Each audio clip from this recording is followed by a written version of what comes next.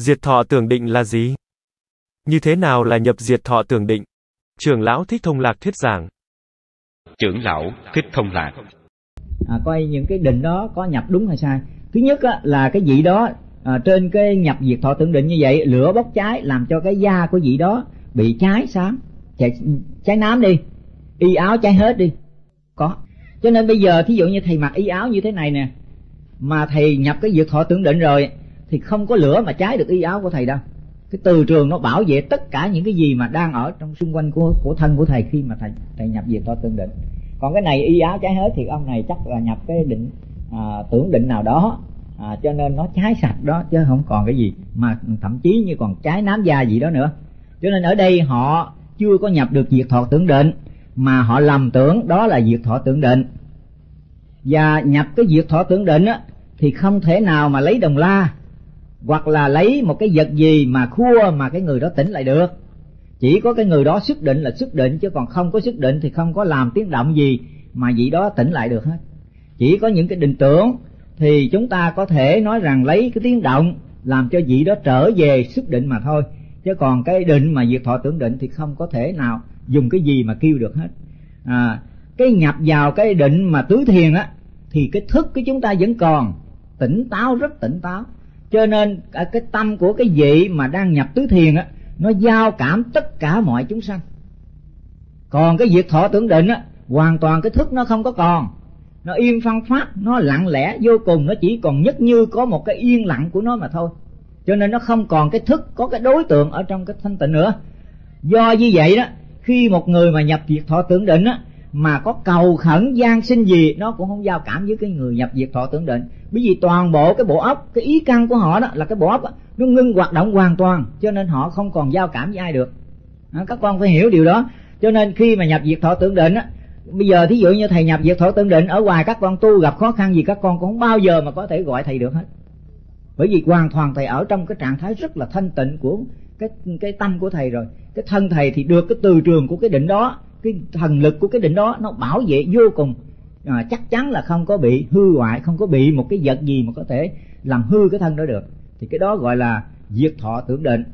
Bởi vì cái cái cái thần lực đó nó đặc biệt như vậy. À, cho nên ở đây chúng ta phải hiểu rằng khi mà cái người mà tu mà tới chỗ này khi mà họ có tam minh rồi thì chắc chắn là họ cũng phải đi đến cái diệt thọ tưởng định để họ thăm dò để xem coi như thế nào. Cũng như bây giờ thầy biết thầy nhập được diệt thọ tưởng định. Nhưng cái thời gian mà không cho phép thầy 3 năm hay 10 năm để nhập thử nó như thế nào, thì bây giờ làm sao cho phép? Vì bây giờ hướng dẫn mấy con như thế này, mà bây giờ bỏ mà nhập trong đó rồi mấy con ở ngoài này tu điên tu khùng tới chừng mà thầy xuất diệt thọ tưởng định ra, người nào cũng nhăn răng cừ, cũng như khỉ hết rồi. Chút lúc đó thì thầy ra, thầy thấy đám điên hết rồi làm sao?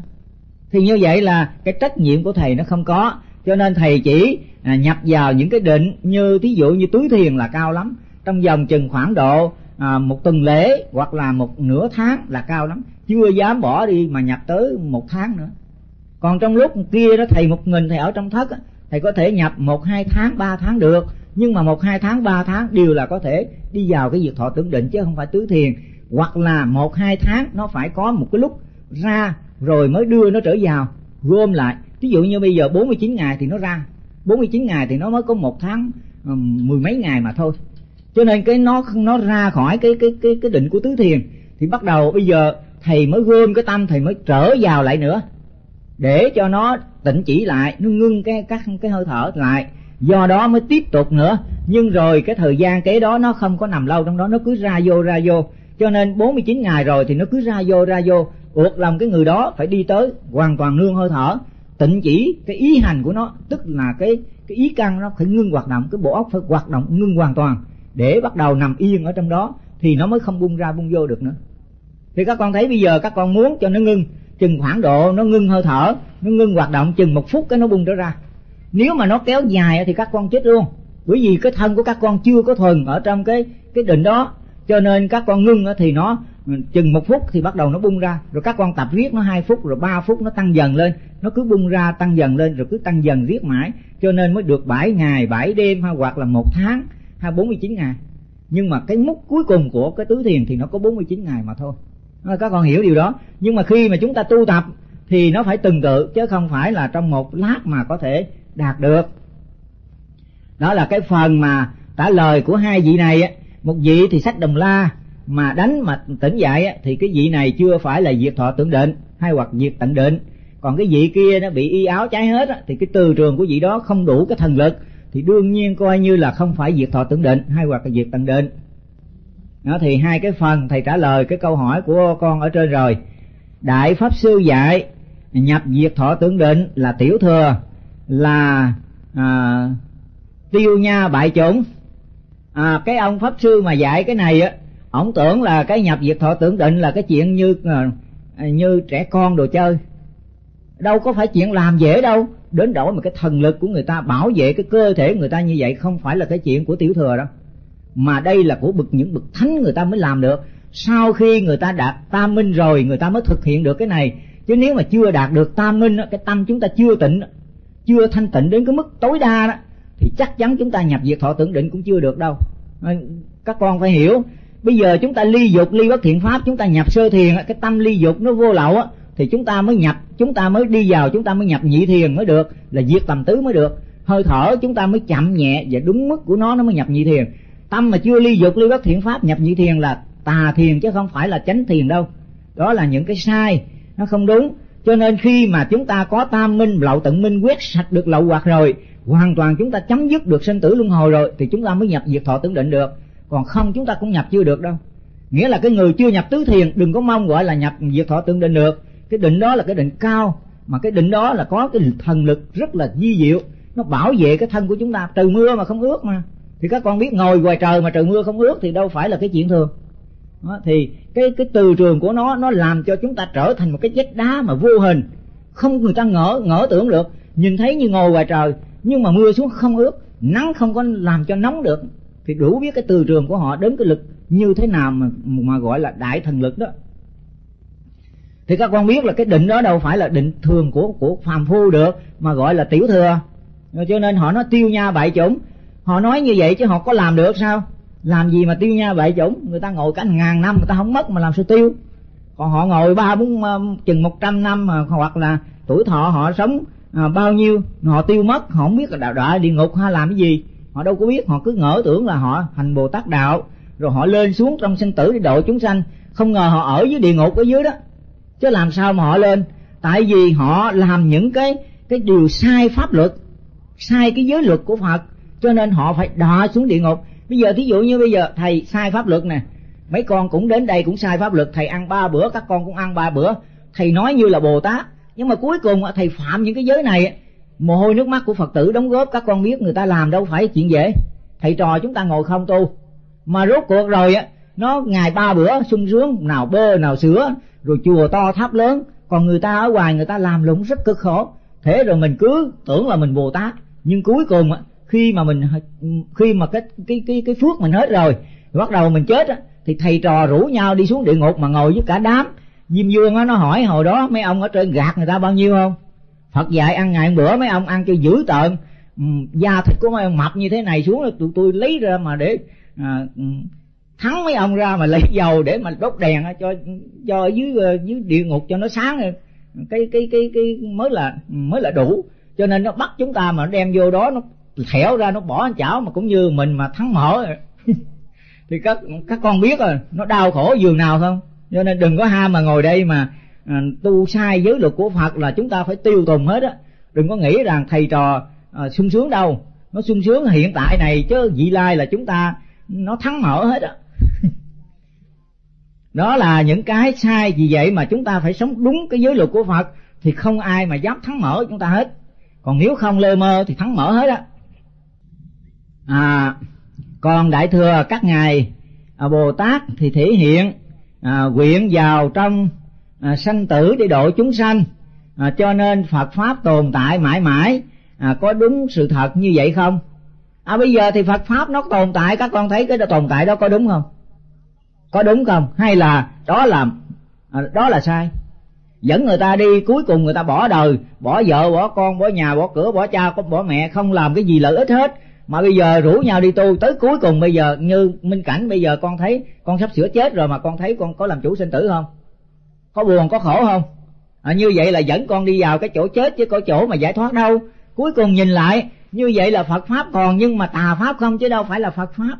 Tại sao ông phật ăn ngày bữa mà bây giờ mình rủ nhau mình ăn ba bữa rồi đi xuống ruộng cài cấy hoặc là làm cái này làm kia cất chùa lên to lớn. Còn ông phật á thì các con thấy một vị tỳ kheo bị một người tiều phu họ rút cái cái cái thất của ông đi lấy củi họ về họ trộm đi. Ông mất cái thất đi rồi ông nói nếu mà mình có cây nữa đây rồi chúng cũng rút nữa thôi. Mình đào đất lên mình nắng gạch lên rồi mình làm cái thất của mình. Nhưng mà khi mà làm cái thất xong rồi thì ông phật cũng sai tỳ kheo cắt đập bỏ. Người tu sĩ không có được ở nhà gạch. Các con thấy không? Không có cho được ở nhà gạch. Thế mà bây giờ chúng ta ông nào cũng ở nhà gạch hết. Mà mà lót gạch là phải nói là gạch ốp lát đàng hoàng chứ không phải là gạch, gạch thứ thường nữa. Chùa nào mà cũng bây giờ cũng thấy sang đẹp hết. Do như vậy chúng ta thấy đó là cái sai của phật pháp ngày xưa ông phật không cho vị tỳ kheo ở trong cái nhà gạch. Toàn là nhà lá, nhà tranh. Đó thì, bây giờ chúng ta thấy họ họ nói họ đi vào trong sanh tử để độ chúng sanh. Độ kiểu đó, độ ma, độ quỷ với nhau hết, cả đám dẫn dắt đi xuống địa ngục hết, chứ làm gì mà giải thoát. Chính bây giờ chúng ta không được giải thoát. Ngay cái bước đầu chúng ta vô là chúng ta không giải thoát được cái ăn, cái ngủ, thì giải thoát cái gì? Không ly được dục, không ly được ác pháp, thì làm sao mà chúng ta được cái gì mà giải thoát? Nghĩa là ly nó mới có những cái hỷ lạc của cái sự ly. Cho nên ly dục, ly ác pháp mới sanh hỷ lạc. Do đó mới nhập sơ thiền. Chúng ta phải có cái hỷ lạc của cái sự giải thoát của cái người tu. Còn đằng này chạy theo dục lạc thì cái cái dục lạc đó là của thế gian rồi. Cho nên toàn bộ là sai hết. À, không có đúng cách. Cho nên gọi là đi vào sinh tử. Để rồi dẫn dắt đi tuốt luốt ở trong sinh tử. Chứ làm sao mà thoát sinh tử? Vì hàng ngày chạy theo trong dục lạc của thế gian và khi nhập diệt ừ, ừ, tận định à, có mất à, tam minh luật thông không? Diệt tận định thì nó có cái gì đâu là tam minh luật thông ở trong đó nữa. À, các con thấy không? Mình chỉ nhập tứ thiền là dẫn tâm đi thì nó mới có tam minh luật thông. Còn có bao giờ mà trong kinh sách phật nó dập diệt thọ tưởng định rồi dẫn tâm mình đi vào tam minh không? Đâu có đâu có cái chỗ đó đâu. Cho nên nhập diệt thọ tưởng định chỉ là một cái thần lực của thiền định để thấy cái sự bảo vệ cái thần lực đó nó giữ gìn cái thân của họ nhưng mà đức phật vốn đâu có để mà duy trì cái thân này ngàn năm triệu năm đâu. À, cho nên thấy nó là vô thường dù biết cái định đó nó có giữ cái thân đến cả triệu năm đi nữa vẫn không chấp nhận nó. Cho nên việc tận định chỉ nói để cho biết chơi vậy chứ còn không phải mục đích của đạo phật đâu. Và có lợi ích gì cho phật pháp? À, cho chúng sanh thì cái cái việc thọ tưởng định nó không có lợi ích đâu. Chúng ta tới tứ thiền chúng ta thực hiện tam minh là giới định tuệ chúng ta đã đủ cái sự mà chấm dứt sanh tử luân hồi cái sự đau khổ cho cái thân phận làm người là đủ rồi.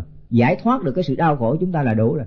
Nhưng mà tới đây chúng ta nhập diệt thọ tương định để chúng ta thấy được cái thần lực của định để biết được cái sự tu tập của chúng ta có những cái thần lực tuyệt vời như vậy thôi chứ cái đó không phải là mục đích của chúng ta.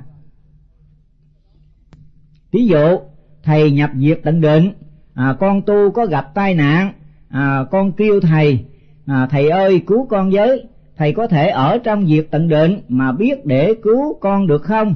Đó là cái điều kiện hồi nãy thầy đã trả lời. Vì nhập diệt thọ tận định cái thức nó không còn. Cho nên dù có kêu gì đi nữa thì ở ngoài cũng chịu chết mà thôi chứ không bao giờ mà thầy có thể à, cảm giao cảm được với cái sự nỗi khổ của các con ở bên ngoài được. À, trong kinh nói Phật có đủ 32 à, tướng tốt 80 vẻ đẹp tại sao Phật không nhập diệt tận định để nhục thân lại cho hậu sanh chiêm ngưỡng mà ngài lại ngoại thân nhập niết bàn? À, tức là trong kinh nói Phật có 32 tướng tốt 80 vẻ đẹp tức là phải là cái thân của Phật đẹp đẽ hơn con người rất là đẹp. Thế mà ông Phật ông còn không có giữ nó để mà chúng ta ở ở sau này chúng ta chiêm ngưỡng những cái đẹp đó. Thế mà chúng ta cái thân của chúng ta xấu xí như thế này mà nhập diệt thọ tưởng định để giữ lại người ta nói cái ông gì đâu mà cái miệng mép xẹo mà cũng để cái miệng đó mà bây giờ nhập diệt thọ tướng định phải không? Cái lỗ mũi gì mà xẹp lép mà cũng để.